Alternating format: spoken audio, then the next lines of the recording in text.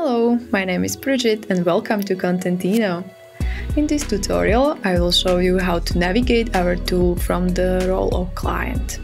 Usually, you will get to Kontentino by clicking on the notification when somebody from your team will send you the post for approval.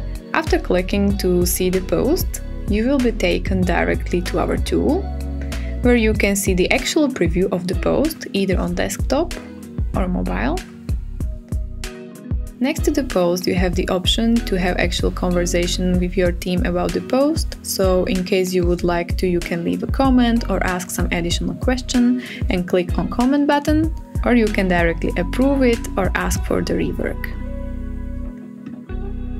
You have also access to the calendar, where you can see the posts that are sent for approval, approved, ask for the rework, scheduled, or posted.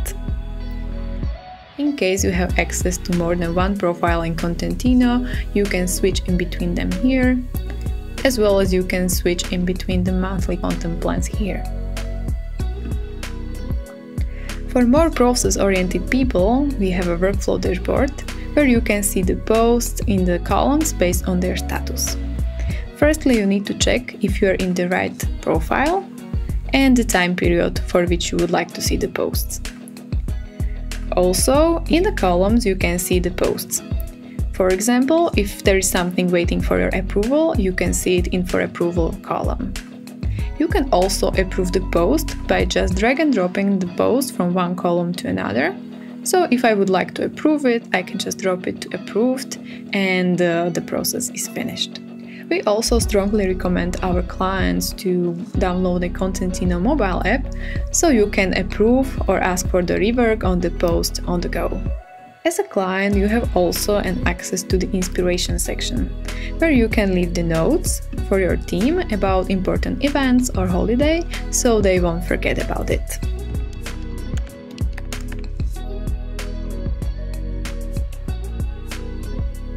Then they can see your inspiration in their calendar as a light bulb so they won't forget to create post about it. Last but not least, you have an option to use the media library where you can upload pictures and videos. Afterwards, your team can directly use them for creating posts.